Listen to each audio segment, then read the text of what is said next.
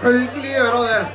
Alle vi her ute på Holsbo er jo i Holsbo, ikke på i, er sjørøvere. Og spesielt han derre jubilanten. Tom Jolseth.